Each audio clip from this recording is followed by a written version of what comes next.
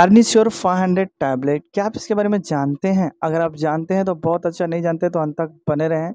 हम इसके तीन टॉपिक पे बात करने वाले हैं। किस तरह की समस्या में इस्तेमाल किया जाता है, क्या डोज होता है और क्या साइड इफ़ेक्ट देखने को मिलते हैं। तो पहले हम थोड़ा सा जानते हैं कार्निश्योर 500 टैबलेट के बारे में।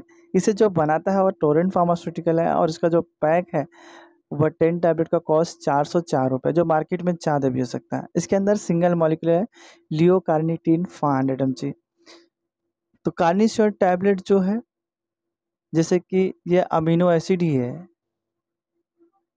तो इसका इस्तेमाल आपको तभी करना रहता है जब आपके अंदर कार्निटीन की डिफिशियंसी रहती है। अगर आपको डिफिशियंसी होती है तो आपके अंदर, जैसे कि एनर्जी बहुत कम महसूस होती है।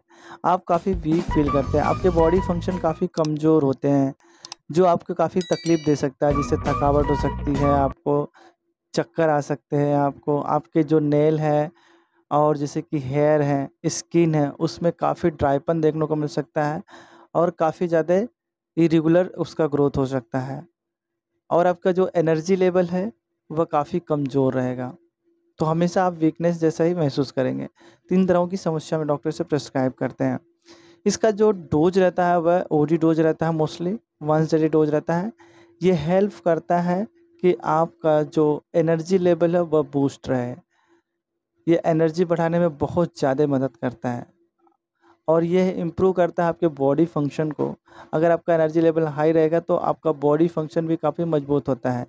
आपके हेयर, आपके नेल, आपकी स्किन काफ़ी अच्छे हो जाते हैं।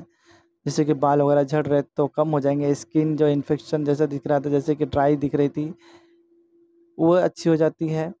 और नेल जैसे खुरदरा होकर टूट जा रहे थे वह काफ़ी अच्छे हो जाते हैं। तो ये बहुत ही सुपर है और ये बहुत अच्छा आपको एनर्जी का एक सोर्स है, एक अमीनो एसिड है। तो ये बहुत ही अच्छे से आपके बॉडी फ़ंक्शन को भी ग्रोथ करने में मदद करती है।